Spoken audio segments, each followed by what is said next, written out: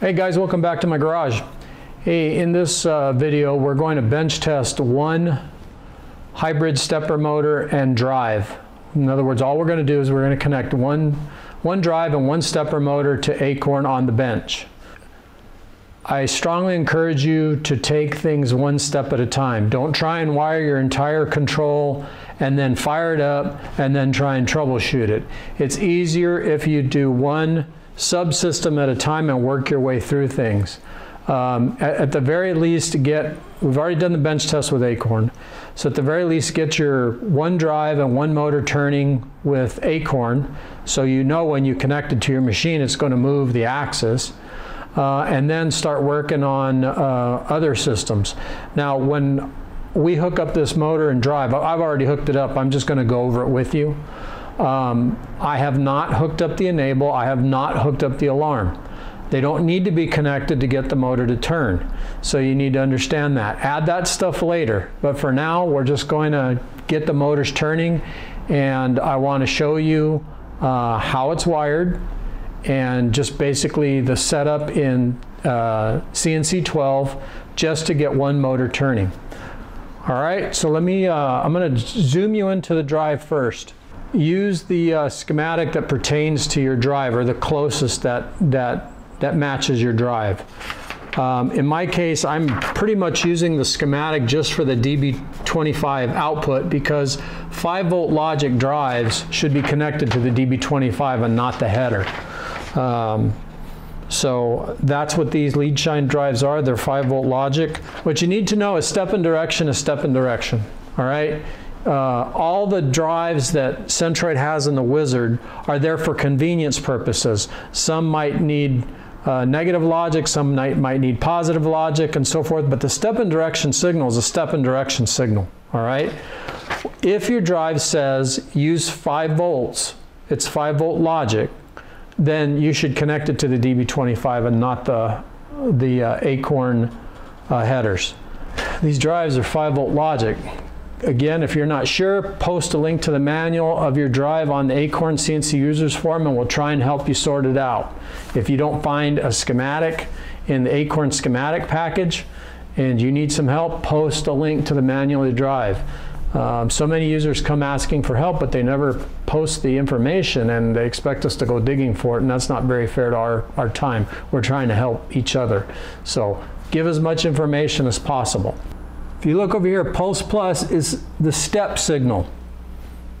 And it requires a positive signal. So from the DB25, which is pin number two, step one, that little red wire is going to pulse one. Now pulse minus, you'll see the black wire. Here's my wires. Three wires, all it's taking right now. Red is for my step, blue is for my direction, and black is my negative or my common. So red is going to pulse 1, black is going to pulse negative, blue is going to dir plus, and black is going to dir minus. So it's just three wires all it's taking. Now, if you have one of these drives, this is a Leadshine CS D508. I didn't monkey with any of the jumpers on here. I just hooked it up and that's it. Left it to the default settings. The feedback that the uh, motor has an encoder.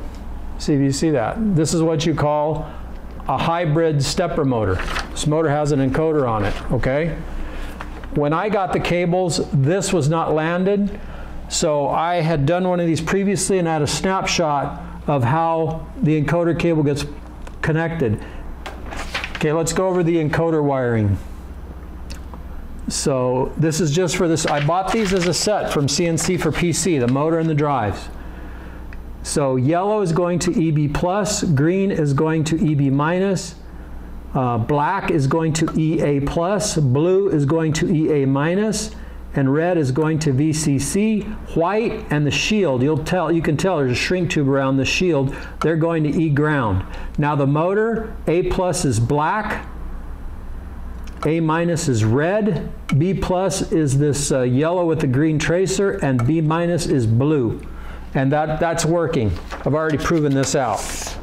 So again, only three wires here. Red to pull, pull plus, black to pull minus, blue to dir plus, black to DIR minus, and again, black is going to ground on the DB25, okay? Now, for power, I'm using a spare Acorn power supply just to, to turn this motor, 24 volts. So yellow is my plus 24 volts, and black is my ground. Here's my power supply. It's just a typical Acorn power supply. Okay? Black is going to COM, yellow is going to V2. V2 on this power supply is 24 volts, and then of course chassis ground, white is neutral, and black is line. All right? It's very simple. Plugged it in, I got power to my, to my drive here. Okay, here's our DB25. And as I previously mentioned, this is a, a, a DB25 male. It's got male pins on it to match up with uh, female pins on Acorn. You can buy these on Amazon. Just search DB25 male breakout board. They're about 12 bucks. And, uh, and like I said, we're only using three wires. We've got the black on um, terminal 18, and then we've got the red, which is step on terminal 2, and then we got the blue on terminal 3. And that coincides with the Acorn DB25 pinout. Again, we've got red on step 1, we got blue on direction, and then we've got the common uh, on pin 18. 18 through 25 are all commons. Okay? Okay, I want to let you know that the drive is powered up and I have a green LED so it's in its ready state. As you can see, I don't have CNC 12 up on the computer yet. Yet, when the motor is ready and you've got everything wired up, this rotor is locked. Can't turn it. It's energized and the rotor is locked. That's a good sign. All right? So now let's go over uh, setting up CNC 12. All right, so let's start CNC 12.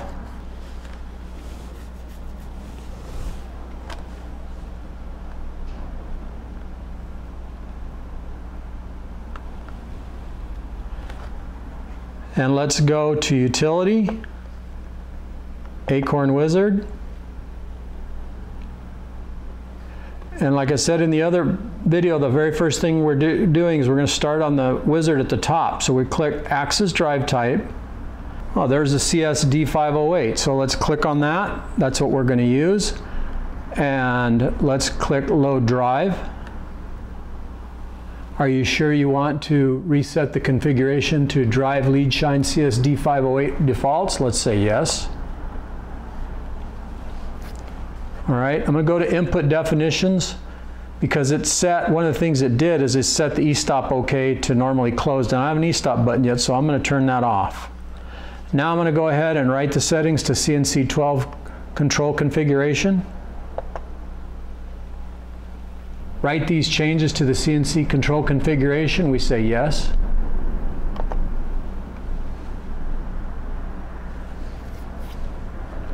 Warning, the PLC configuration has changed. The Wizard and CNC 12 must be shut down and restarted for PLC changes to apply.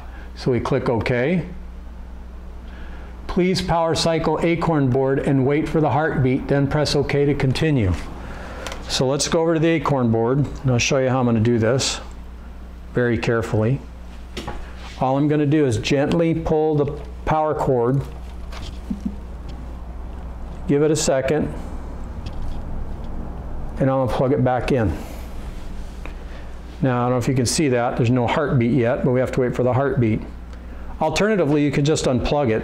You, we could have just unplugged that power supply. Okay, we have a heartbeat now. So let's go back.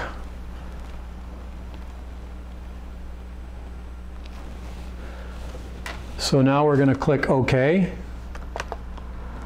and now it's restarting. This is why the heartbeat has to be going before you try and restart CNC 12.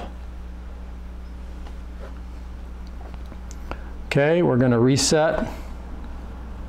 And since we're on axis 1 and on a lathe, axis 1 is Z, we're going to press, we're going to jog Z, and you probably can't see it. So there you go. It's working fine. So we've successfully done a bench test with one motor connected to Acorn. It was as simple as a piece of, a piece of cable with three wires and the DB25 connector.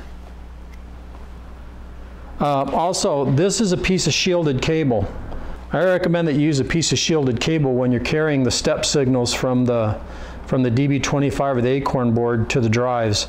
And you don't, you can see the shield here, it's not connected. So you don't want to connect this end. What you'll want to do is over here on this end, this happens to be it here, you'll want to take this to your your chassis ground, um, and that should be one point where it comes into the cabinet, and I will do that. It's just better to shield the signals with a piece of shielded cable. I believe this is just 22 gauge cable, and that's, that's fine for these signals.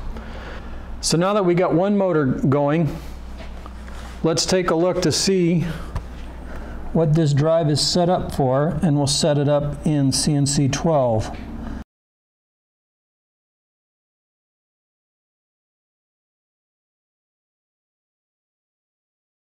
Okay, now I looked at the drive, the dip switch settings to see what it was set for, and it's set for 2,000 uh, steps per motor rev. So let's, uh, let's prove that out. Let's go into the utility, or let's set it up. Let's go in the utility, Acorn Wizard, and let's go to axis configuration. And here it says 4,000, so let's, let's change these to 2,000. 2,000. And we're going to change it from 5 to 1. That means if one turn of the motor will move one inch. That's what we're trying to set up here so we can visually see that this works. So when I command a, a move in the MDI, of one inch, that motor should turn one revolution. Okay. Now we shut down CNC 12 for the changes to take effect.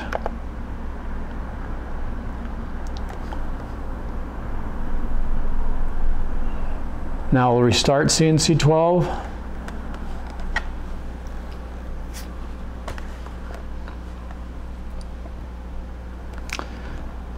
we're going to reset. I'm going to set the home by hitting cycle start. All right, we're going to go to MDI. I'm going to do a G98. Cycle start. It's required in a lathe. Now we're going to do a G01Z1 Let's do a feed rate of five. Now we'll hit cycle start and watch our tape. Let's see if we turn one revolution. It's going kind of slow. Could have done a faster feed rate. But yes, it does look like it turned one complete revolution. Okay, I'm going to do a G0, Z0, cycle start and it went back. Now we're going to arrow up. Let's change the feed rate to say 20. Now we're do a cycle start and watch that tape. That tape will make one revolution. Alt S. And that's one revolution. If you look up at the display, we commanded it to move an inch and the motor turned one revolution. That's a quick way to see if you've got your steps per motor revolution set correctly.